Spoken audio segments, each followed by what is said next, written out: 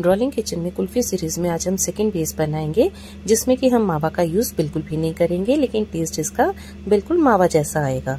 तो उसके लिए एक पैन में हमने एक लीटर मिल्क लिया है। मैंने 10 फैट मिल्क का यूज़ किया है। अब हम इसमें 50 ग्राम्स मिल्क पाउडर ऐड करेंगे और इसे अच्छे से मिक्स कर लेंगे। अगर आपका मिल्क 7 टू 9 फैट का है तो आप यहाँ पर 75 ग्राम मिल्क पाउडर का यूज़ करेंगे। अब हम इसमें half teaspoon xanthan gum add करेंगे। आप यहाँ पर half teaspoon CMC powder या फिर वन टेबल स्पून कॉर्नफ्लोर का यूज़ भी कर सकते हैं। अब हम फ्लेम को ऑन करेंगे और इसे कॉन्टिन्यूसली चलाते हुए एक बॉयल आने देंगे। चलाना बंद नहीं करना है, नहीं तो मिल्क पाउडर पैन के तले में जाकर लग जाएगा और दूध जल जाएगा। साइड्स पे जो मलाई आएगी, हम उसे उतार कर मिल्क में ही ऐड करते रहेंगे।